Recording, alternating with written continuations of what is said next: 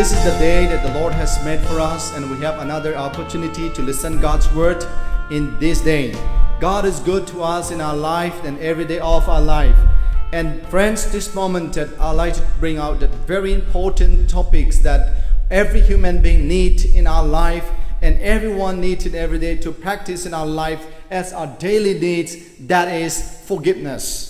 The Bible say that, that here in the book of Matthew chapter 6 verse 14 and 15 said here, For if you forgive men their trespass and your heavenly Father uh, will also forgive you. But if you do not forgive men their trespass, neither your, your Father forgive your trespass. So forgiveness is that the key of that every person's and forgiveness is the heart of the gospel which is essential for every person to practice every day of our life.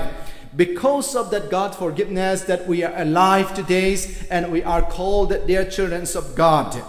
Friends here, I want to bring out some thoughts what the scripture talks about here forgiveness. And I'll say here that to, to forgive someone who hurt you how can you forgive someone to, who abused you? How can you forgive that someone who tortured you? And how can you forgive someone that who has that block and who has destroyed your plans in every day of your life, your business, and also in a career? Let me say here, trust in God. Trust in God. And trust in God. God will deal your problems. And God will deal the problems that God will God will give you that the grace to forgive a person. We see in the scriptures, we find in Romans chapter 12, verse 17 and 19 say that Romans say that vengeance is belongs to me. The Bible say vengeance is belongs to me. Then how can we retaliate it? At this hour that I like to talk about here, the issues that the nation to nation and that, that the country to country has a problem today. Unforgiveness the same way in our in the christian life that we have that unforgiveness and say that okay this person has done to me these things and i cannot forgive it. Yes my friend I will tell you that the Bible said in the book of Ephesians chapter 6 it said that let your angry and that, that your wrath not uh, uh, be uh, uh, till the sunset and forgive one another. That's what the Bible said here. And today here, if you have problem with someone, what you have to do is that go and talk to a person and clarify that your issue so that you can reconcile and forgive each other.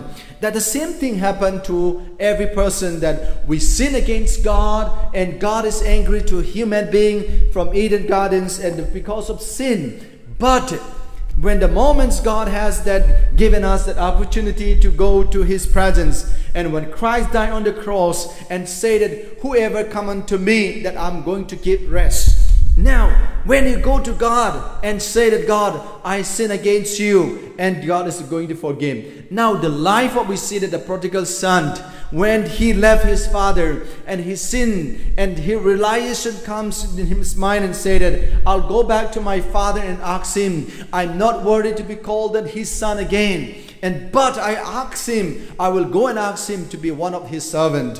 When that person repent and realization make it when he go to his father and say father forgive me I sin against you and God and when he realized that God forgave it, my friend, this moment I want to say that God, if you go to him and he's going to forgive you, go and talk to him. And how can we forgive someone who hurt us? Here, pray for those who hurt you. The Bible says that love your enemies. That's one of the difficult part. In Matthew chapter 5 verse 44 say that love your enemies and pray for them my friend, that how do we pray for our enemies and how can we love them? We being the enemies of God in, eh, in sins and against God, but God love us and He forgive us. And if God give that His forgiveness to us, then we also can forgive other people's.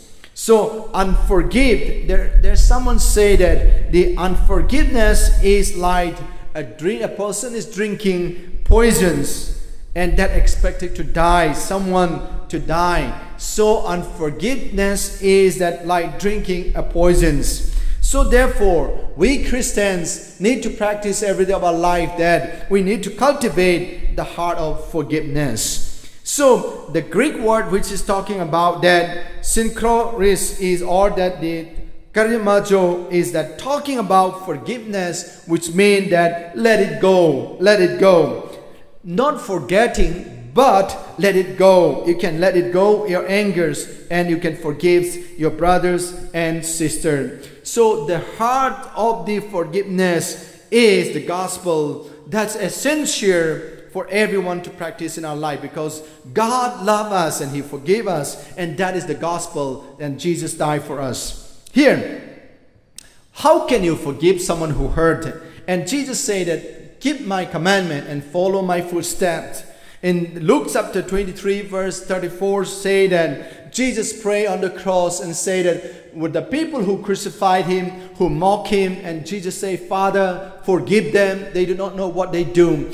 That is what that Jesus said that follow my footsteps. Forgiveness is a requirement for every human beings and every Christians to practice in our life. Forgiveness is that doesn't help your people whom you're angry, but forgiveness help you to release that burdens in your life. And forgiveness to release even others people's.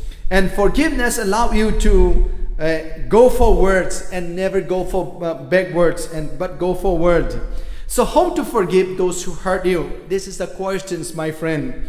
In Mark chapter 11, in Mark chapter 11 verse 25 26 on and Jesus and in Matthew chapter 18 verse 15 to 35 Jesus said what here? We see that that Jesus said that to his disciple that forgiveness is the key of the gospel and that the disciple asked and said that Lord how many times should we forgive our brothers when they sin and God said, Jesus said that 70 times 70, that 70 times 70 talks about 4,900 times that you have to forgive it. That's what Jesus said. And forgiveness has that no limit at any times and any moments you can forgive it. So that is what important in our life that we have to practice then. So to forgive is to set a prisoner free. When a person who is in the prisons, unless that the, the court has released them, forgive them, they cannot be free. So forgiveness does not change your past. Sometimes that we thought that the forgiveness changed our past, but forgiveness doesn't change your past, but it gives us a bright future for each one of us when we forgive each others. So that's why that the power of forgiveness is need to be cultivated by every human beings either what kind of religions you are or what kind of practice you are every person need to forgive each others so that we can live that co-living together peacefully.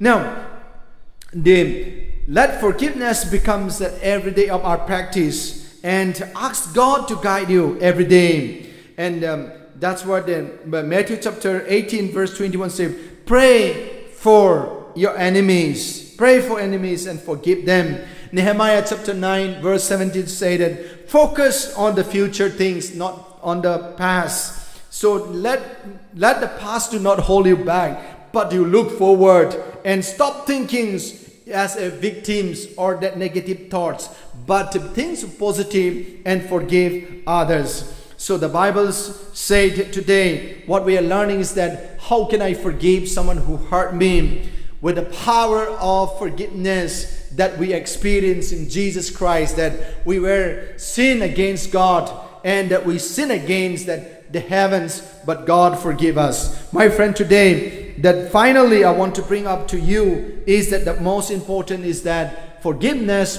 doesn't mean forget it.